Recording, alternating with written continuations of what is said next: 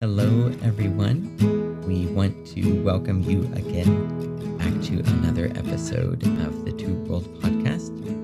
As always, I am Barney, and I'm always so very happy to be joined by Jacob.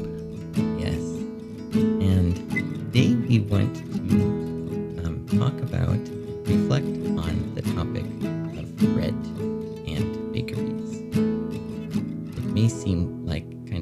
unusual topic to discuss, but um, we thought of bread in terms of the bread of family, the bread of culture, and also the bread of faith, and how um, my in my case in Japan, their unique approach to bread and the types of bread that we eat, and the types of bread that we encounter in these three areas um, of our lives.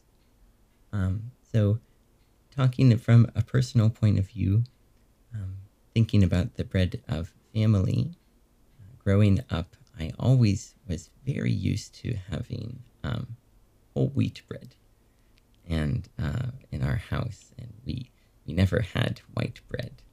Um, it was always um, thought of, you know, whole wheat is so much healthier, you know, giving us good sustenance. And I guess it probably is. Um, I know occasionally we would have um, Hawaiian bread, very rarely, and um, you know, but then um, for the the big events, uh, Thanksgiving and Christmas and Easter and things like that, then we would have um, baked bread or rolls or um, things along those lines. It's so interesting. I remember an episode of How I Met Your Mother. Um, you know, take of it as you will. Um, and there was uh, an episode at the beginning, and they were having a heated discussion about what is the most popular food in the world? What is the food that is eaten by the most amount of people? And they're debating and debating and debating of what it could be. And then they flash to how life is with a smartphone.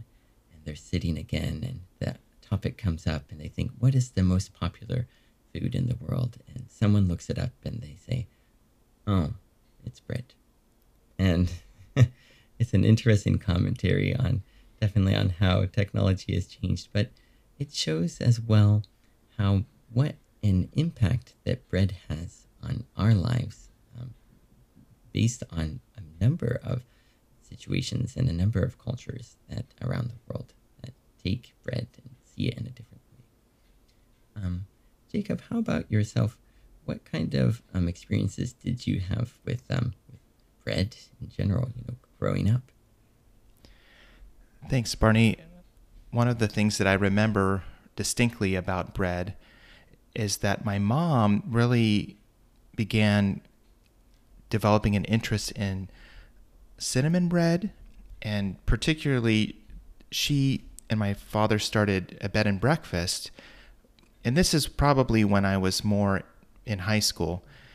But up until that point, my mom had baked quite a bit on her own, homemade breads.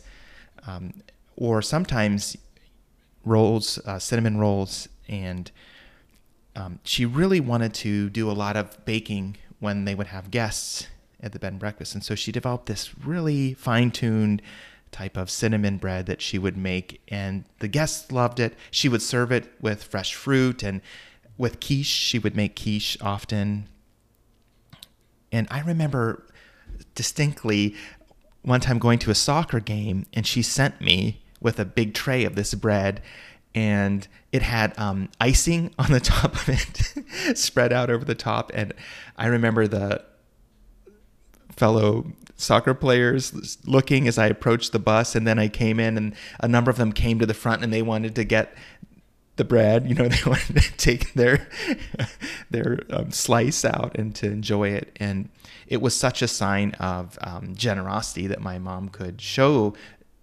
in that case to my team, but also to the guests as they would come or to our family when we have special events or just on a Saturday morning she would make bread and we could uh, sit around the breakfast table and enjoy it and she just enjoyed that um, act of presenting it and giving it it made her smile when people would bite into it and and say how much they liked the flavor. And so I think for my mom, bread was this way to show love and care and hospitality in a tangible act. And for us who received it, it was very much uh, received as this act of kindness and and it tasted really good. It had a good. It was it was it was um, both emotionally meaningful, but also on the level of taste and enjoyment. It was a good experience, and so yeah, I would hold that up as one of my greatest memories. On the on the side here, I'll just say, like your family, particularly in my younger years, we did a lot uh, with flatbreads or wheat breads um, to be on the healthier side.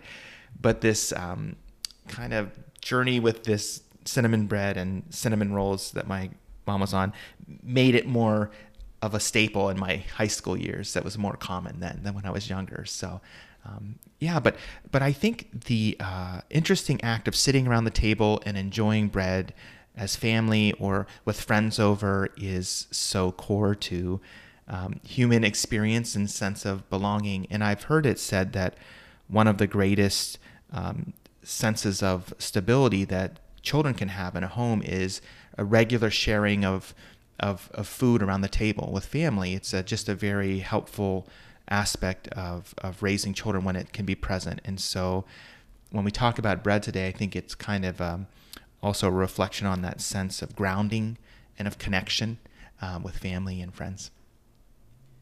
Yeah, it's interesting. Um, you know, they say that um, scent is one thing that, that solidifies strongly the memories in our, our, our minds. And, and what better scent is there than freshly baked bread? Oh, yeah, that's so true. Rolls and things oh. like that. Your your mom, you said that sometimes she would she would make bread. Would she just um, make the bread from scratch, kneading the bread, or did she yes. use bread makers? Or oh yeah, yes, she made the bread from scratch. Yes, and she developed um, a process and fine tuned it and really seemed to enjoy it. I wish I could say that I captured it myself and could reproduce mm-hmm. it, but I never thought to do it at the time. And um, sadly, my mom has gone on now, so that is something that will just live on in my memory. I, I can't um, locate that recipe now, but I have so many uh, good and fond memories of enjoying that bread. Yes, for sure. She did pass on a number of recipes, but I don't think we got that one. So oh. yeah, yeah. I'll have to I'll have to check though. I might be able to track it down. We still have um, some other um, records and books and things that mm-hmm. Mm-hmm. maybe it's in one of those. But yeah, yeah. When you when you mentioned that, it, it set me to thinking right away of um, my mom also um, was would always make um, cinnamon rolls uh, at Christmas time, and um, she also used them as form of, of extending hospitality to mm. um, our neighbors. You know, uh, we grew up, I grew up in, in such a rural area that we rarely did, really rarely see our neighbors. And, um, you know, they, they were quite a little bit removed and we would take them and walk them to their home. And my mom, of course, would um, have a little kind of ribbon on them, you know, for the festive uh, season. And, um, and I know that, that they appreciated it. Um, I think that really baking, especially in, in our traditions, is kind of a unique thing, maybe that, that not everyone really shares. And to be able to receive that um, just because you're a neighbor um, must, or, you know, in your case, just because you're a guest, you know, at the bed and breakfast, must really have had a meaningful impact and, and a really strong memory for those people as well. Um, my mom also made something called um, Christmas tree rolls, which were similar to, um, I think, similar in a lot of ways to cinnamon rolls, except um, they had um, different colored of uh, sugar and twisted and arranged in a Christmas tree shape. And in my opinion, they were always a little bit on the sweet side for me. Um, but um, my siblings, they loved them. And they still ask for them every year. Mm. And I, I, I am always happy to um, to have them, even though I feel that they're a little too sweet.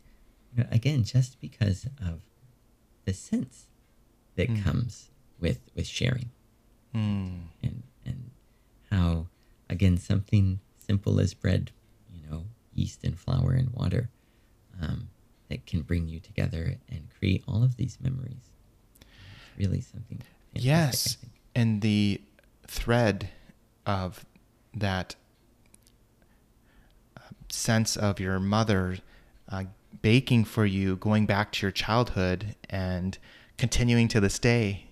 You know that you can still come to a family event and she's present and offering this thing that you remember that you've enjoyed back then, and you can experience it again. And um, that's a that's a very unique type of uh, blessing to have a, a, a, um, something that has remained the same over so many years. And um, I'm kind of wondering if you would be willing to share with us uh, a little bit about the bread of culture in your context right now.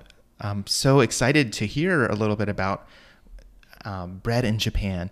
Mm-hmm. I don't mm-hmm. know very much about it, so um, I remember visiting and seeing different bakeries and being impressed with what was yeah. available, all different types of breads. And so, um, please tell us a little bit more.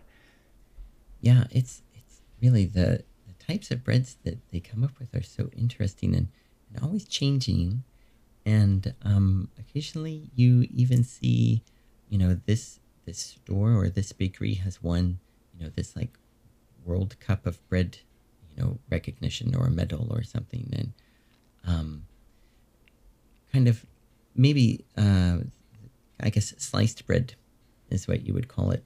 Um, is has become more and more popular. Um, I when I got to Japan, the first thing I wanted was you know whole wheat bread, but I just couldn't find it in the stores. Um, they had bread with rye rye wheat, um, but it's mostly just white bread. And um, then in the bakeries, you find just a real adventure of bread. You know, there is um, fried bread with um, curry inside, or um, you know, bread with um, like topped with burdock,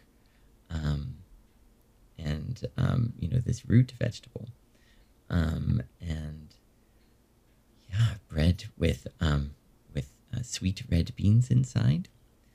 Um, and I want to get back to that later. I just thought of something very important for um, linking bread and culture um, that's related to that.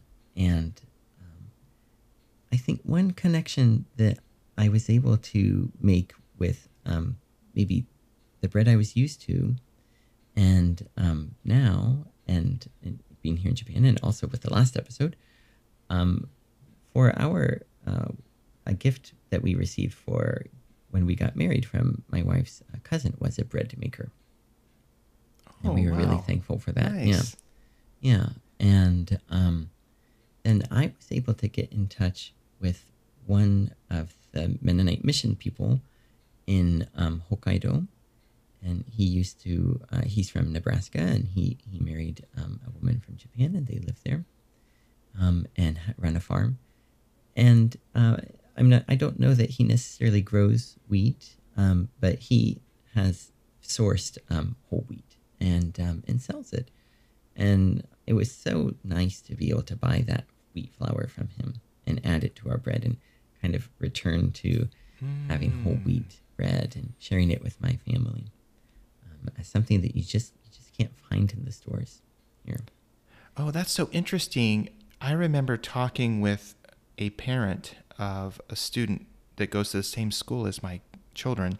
Uh, mm-hmm. She's originally from Germany, and she was saying that when she would go to make German bread with the flour that was available to her, here in the US, she couldn't quite reproduce it. And mm. then she was traveling in Amish country and she was in one of the stores and she saw this flour uh, there that was that seemed similar in texture and quality to what she had used at home. She bought it, brought it home, and the and that was it. The bread was very similar.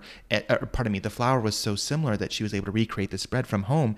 And one of the thoughts she had is maybe the tradition of bread making um, as it came over with the original Amish immigrants, it was maintained in the way that the flour was produced. And so she rediscovered this German flour from a, of an old um, tradition that had endured in the Amish community here after coming over. And so uh, I think it's interesting when you talk about the, the flour is like the building, the core material of the bread is, um, it really makes a huge impact and it is connected with culture and practice and community. And there's a, it's very, it has its own history and it's fascinating.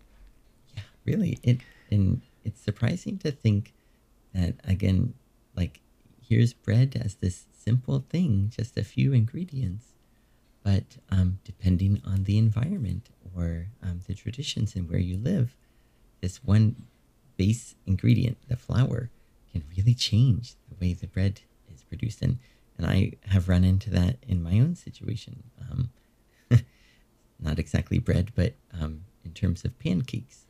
Um, Ah. when I make them, when my mom makes them in Ohio, they're just amazing. And when I try to make them with the same recipe, it must be the flour that's different, and Mm.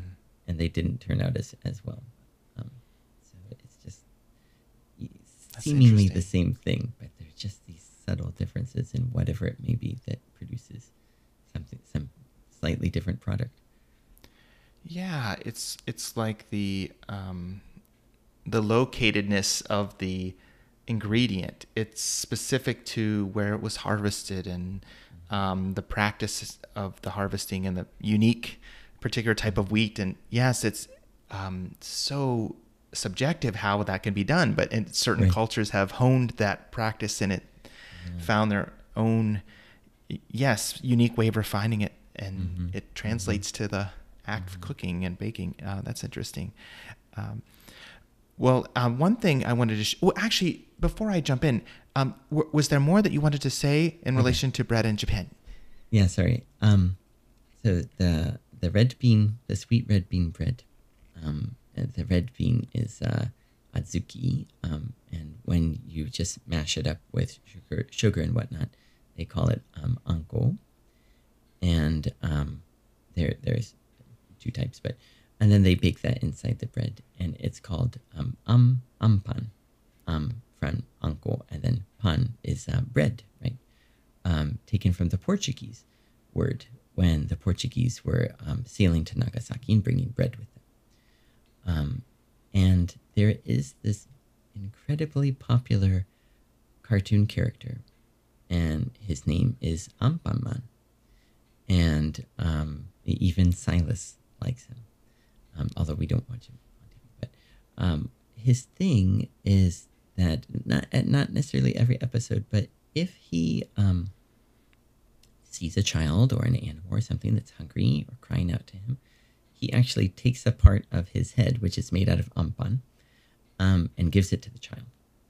oh And- wow amazing Yeah. And then at the end of his journey, or if he gets in trouble along the way, uh, he goes back to the factory, and um, you know his his father, person who made him, you know, bakes him whole again. And um, it was such an interesting story. This whole concept of this Anpanman, Mm. and it wasn't until the author passed away that we all found out that she was Christian. oh wow And of course, then it makes perfect sense. You know, here he is sharing the bread of life, and his father is, you know, making him reborn every Mm, time. wow he can go out and share this faith and this bread of life again. And um, and everyone was just really impressed to to learn her story. wow And um, Hmm. so interesting the way that she had this idea um, to take bread and make it this thing of culture Mm. and um, find it as a way to sharing faith as well. Um, the people who were watching her stories. Yes, it's like the the act of giving out the bread um, in this character. It captured the imagination of all these children to to think of oh this act of generosity, and then for the author, um, she has this deeper sense to that act of generosity, like connecting with her faith of of um, yeah, like Jesus giving giving out life. Um, Yeah. Like that's that's amazing. Um, well, um, a connection I'd like to make is in relation to um, French bread. and so to take it in a different direction, if if you feel complete, had you concluded oh, um, for Oh, yeah, yeah, okay. Yes, perfect. yes, thank you. Yeah. Um, I had the opportunity to study French in college, and one of the unique things about the College of Wooster, where I was for undergrad, is that they had a French suite, is what they called it, in the dorm. And the idea of that was that you would have cultural events and common life that would take place in that space, all in French. You were um, always encouraged to speak in French um, when, when you were in there. And so um, we had a lot of meals and a lot of movie nights and um, coffee times and, and everything.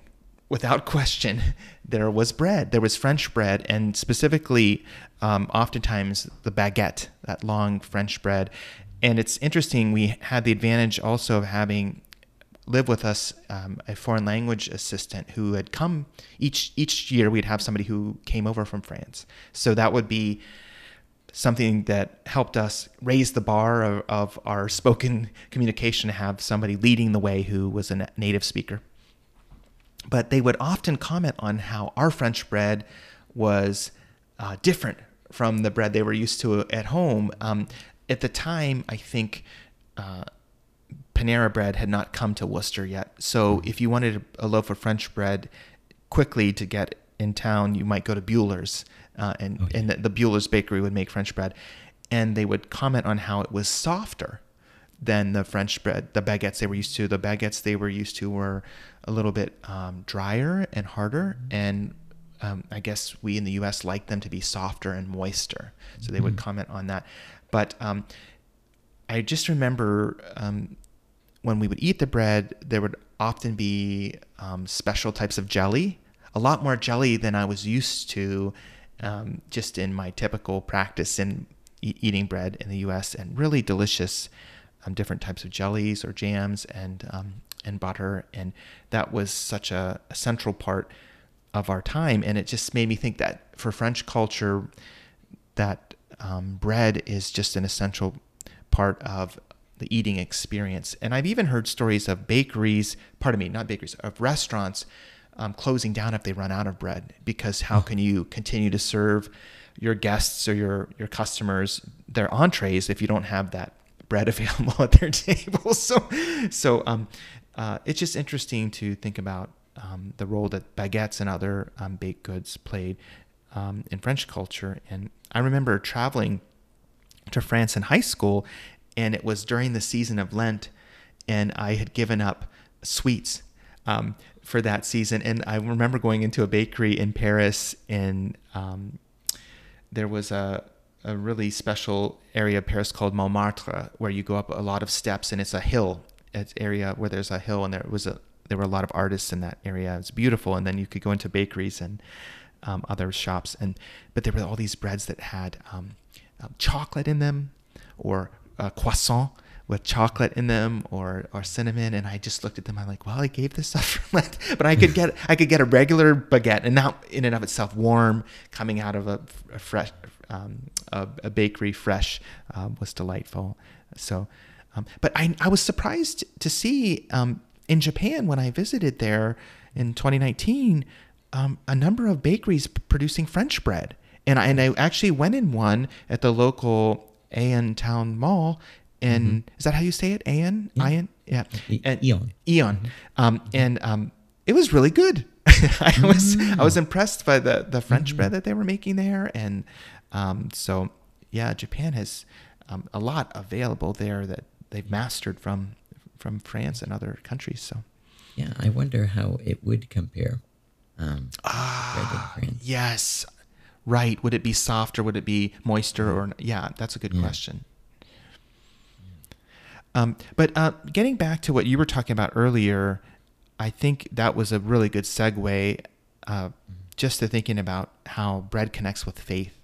And so we talked about this image of of uh, a generous person who gives of himself. Uh, this character that was made of bread and would Mhm. give out Mhm. bread as this kind of um, symbol of love and generosity, and in a deeper sense for for the author, um, a representation of of Jesus. Um, and so I thought maybe we could talk a little bit about how we've experienced bread in relation to our faith. And um, maybe we could just start.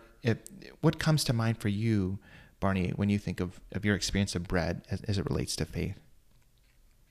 Yeah, um, I think I think the first memory, first thing that kind of comes to mind is um, it was the Sunday before um, I was going to get baptized, and um, my mom asked me to give the children's story that Sunday, and she asked me to. Um, she thought it would be good to talk about um, communion, communion, and being baptized, and um, she she gave me this really nice loaf of bread that had like all of these different grains and millet and whatnot in it, and um, she said, you know, after the the story, then share this with the kids, and um, it really for me it, it had such kind of a strong impact, a strong meaning um, to to me personally. I thought, um, well, this bread looks really good, but um, I'm not. I haven't been baptized yet. Should it? Should I take a piece of this bread? Um, like even though I wasn't, in any way, you know, qualified to, you know, if we during this we were talking about communion, but we weren't having communion, but it felt like um, a really strong presence connected with the bread in that case. Um, that it really had a deeper meaning. Just just talking about it and how bread is um, connected with communion, of course. Um, and and of course, I have memories of communion at Wooster Mennonite, and um, kind of the bread was the same for a while and then changed throughout time, and was kind of always maybe a little bit different sometimes. And then, um, yeah, now at Yachio, uh, we have communion every uh, month, the first Sunday. And um, I remember asking um, Kimiaki Sensei about the bread that they make um, when you were asking me about um, kind of World Communion Sunday. Thought it might be interesting to share that. Right? He he suggested, "Did you want to share the recipe too?" And I thought, yeah, it's so so nice because it I it makes me think maybe it's kind of the bread that um, maybe they would eat in biblical times because it was just just water and flour. I think equal parts water and flour, and then a little salt. And then they knead it, and then um, Mari Sensei, um, Kimiaki Sensei's wife, um, bakes it that morning.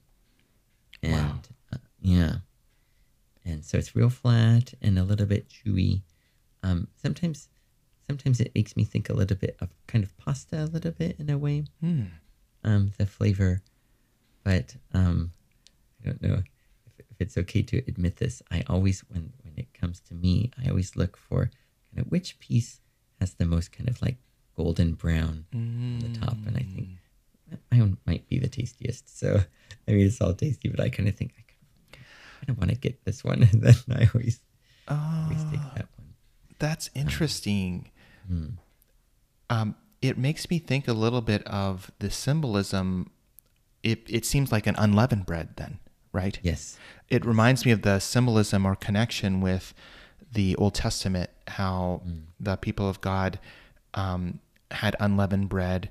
There wasn't time for the bread to to raise before they had to leave, and God called them to move forward, and so they ate unleavened bread, and then it became kind of synonymous with um, their uh, God's provision for them, and and even times of difficulty, um, and even when you don't have time for the bread to to raise, um, God provides, and it's taken up in the New Testament and even in early Christian practice. Some churches have continued to have unleavened bread as that con- connecting piece. Um, I think that the the bread is special too, s- still in Jewish observations of the Passover. Um, they still use a certain uh, matzah bread. A very, it's an unleavened type of, of bread, almost more like a cracker even, but um, it's still even observed in Jewish practice. But um, some Christians use leavened bread, like the Eastern Orthodox churches, a number of them taking the cue from the metaphor of resurrection and Jesus rising. They use a, a, a loaf that is raised for the symbolism of, of his, um, um, yes, um, coming and with full life and fullness. And when you talked about um, your story of children's time, and should who should have the bread and and and when. It reminded me of an experience I had when I was working on my doctorate. One of my assignments was to visit an Eastern Orthodox church and to observe their worship service, and um, they celebrate communion at every service. It's a big part of their liturgy. Their liturgy really has two parts: uh, the liturgy of the Word, centering around Scripture, and then the liturgy of uh, the sacrament or the table, which is a communion. And um, they offer the bread to those who were um, baptized, like you said. Um, but then at the end of the service, there's a greeting before people leave, and the children come up, and I noticed they were giving them bread.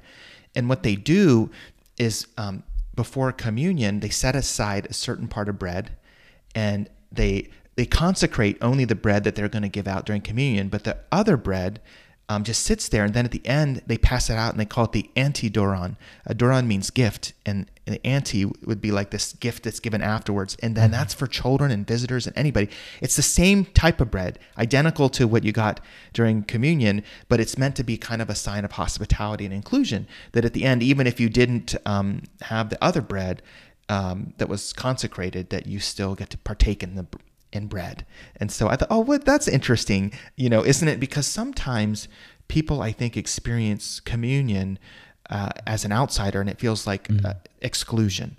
Um, like, for example, if you um, visit some churches when they celebrate communion, they practice closed communion only for um, members of that particular church or denomination. Like, might see that in the Roman Catholic Church, for example. Um, or some churches have um, open communion where it's for anybody who professes Jesus as Lord. And so those different um, beliefs or practices can translate to people's experiences. Uh, but I thought this this idea of giving out the antidoron, that that gift of bread, was really interesting. Um, and if did you have a?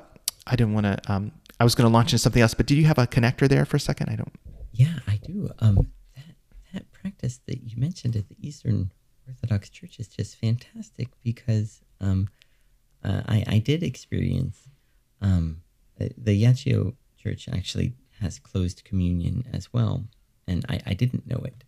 Um, and so the first time that we had communion, I was very excited and looking forward to it. And then um, I sensed, um, I understood that it it said, you know, just for members to come to the for, to forward, and it caused me a little bit of conflict um, because I I was thinking, you, not to get into to the reasoning, but I I couldn't understand why I wasn't allowed, and um, but Kimiaki Sensei was very very kind to explain a, a, little bit afterward of the practice, and um, and then I I I said. Um, maybe maybe in a way just observing being able to observe is is meaningful as well um, and I thought about it and thought about it. And eventually, then I did um, mention to another member how I thought it might be nice if it's possible for me to be able to take me too. And then um, they were able to um, set up a time for me to give my testimony. And then they approved me as being able to um, take, take communion with them. Mm. Oh, so you're you're um, longing to participate mm kind of opened a door as you voiced it to a pathway where you could. Right. Um, and yeah. it's good that you were open and shared with them that that was on your heart so that they could respond because if if you had never um, shared that uh, they might not have thought of oh barney might feel excluded mm-hmm. but since you opened mm-hmm. up that mm-hmm. helped uh, i've heard it said before that um, open communion and closed communion each have their own symbolism. Um, like closed communion is kind of emphasizing the sense of this bread is part of almost our common confession.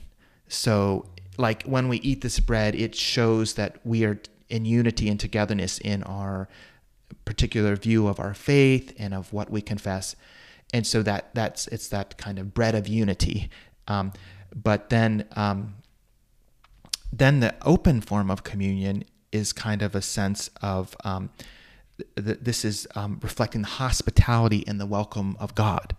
And so the emphasis on that symbolism is how God embraces people from many different backgrounds and uh, Christians across different traditions at, at his table.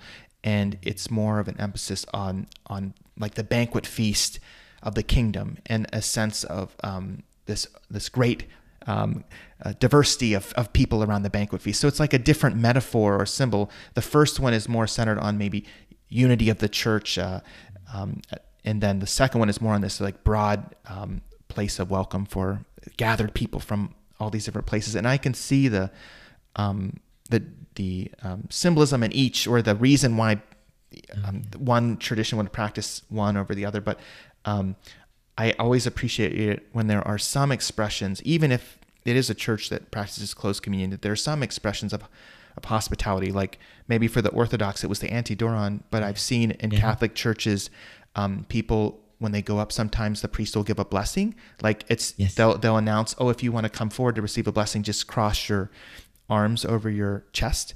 And so I've seen people go up and get a blessing. Um, at Wooster Mennonite, for our children when they've come forward, because we practice um, we practice open communion, but typically people who will come forward for communion have been baptized. And so um, when our children would come forward, we've, we've had prayers of blessing for them, for our children. Um, so uh, it's really interesting. Um, and maybe I'll, I'll share um, one other thing you talked about Mari Sensei making bread. And mm-hmm. we had um, for quite a few Sundays and maybe even years, um, one of our members making communion bread, Jim Bay.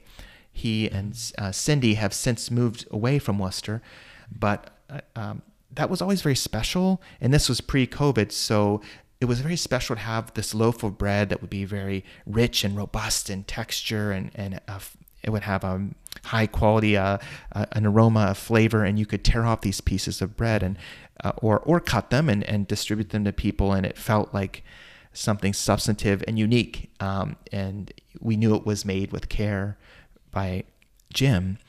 And that symbolism of the sense of intentionality and care. And now during the pandemic, we've had to shift to using for sanitary purposes and just mm. to, to maximize the sense of um, uh, caution and how we safeguard everybody. To we've transitioned to prepackaged communion elements. Mm-hmm. So you get a sealed cup with juice, and then on top of that cup is this little wafer that's sealed in its own um, plastic wrapper, and you peel it off one at a time. And um, we still celebrate communion. It's still a symbol for us of sitting at the Lord's table and having a sense of unity, the sense of being in God's presence.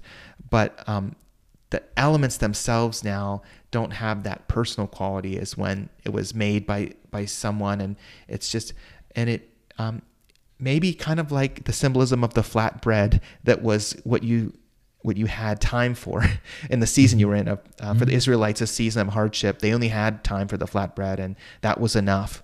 Maybe for us during the pandemic, these little wafers are are equivalent.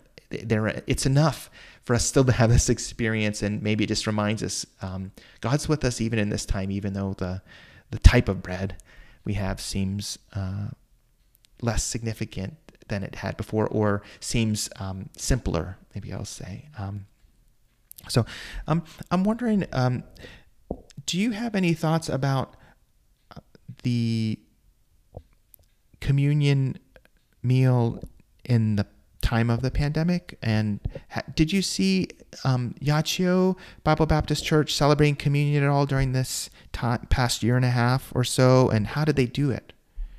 Yeah, they um, they didn't um, when there was the uh, as as the government calls it the state of emergency.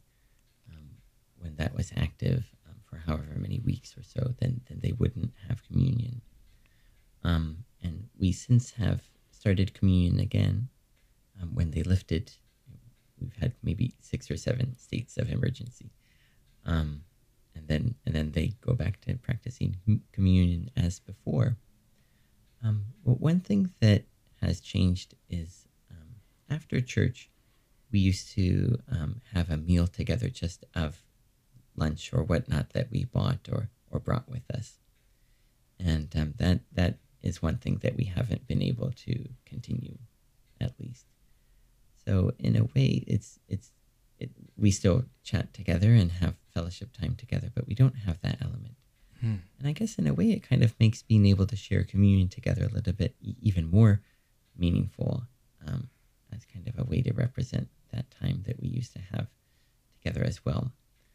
Um, you know, in a sense of unity, right? And a sense of Mm. sharing hospitality too at the same time. Mm, mm. Oh, that's really good. Yeah, I like that you mentioned there the act of eating together because um, in the early church we read about how there was what they called a love feast, which involved communion but also involved fellowship time, um, eating a meal together. And I think that it has to be named as an important part of bread in, in our journey of faith too, that it's not just the bread of communion, but the bread that we break sitting around tables. Uh, recently, we had a baby shower at Wooster Mennonite, and um, this was our first carry-in meal in a very long time. And we tried to set up everything very carefully with with spacing and distancing, and people um, wear masks, you know, before they sit down to eat, and after they're done, we couldn't put our masks back on. But it was so meaningful to have time sitting around and breaking bread. We had um, a few weeks ago also a chance to do that outdoors with a brown bag lunch, and I can just tell like the hunger that we have for community and connection. It mirrors what we were saying earlier about the bread of family, the sense of groundedness, of, of belonging, of hospitality, and it all gets funneled into this time when we sit together and um, and talk and share. So that's interesting. I hope that that will come back for Yachio. That that in the future that will open up again as things stabilize more and um, Lord willing, um, that will happen. But I'm glad that for now that that communion that you are experiencing is meaningful. Well, uh, we want to thank our listeners today for going with us on this journey of discussing bread. And we hope that you yourselves have ex- had many wonderful, blessed times sitting around the table with family as you've enjoyed bread or as you've learned about different cultures and experienced their breads, or even if you are connected with a community of faith, how bread has played a role there. And we look forward to uh, future discussions um, about these themes for future episodes. But in the meantime, thanks for being here. Thanks for listening. And until next time, goodbye.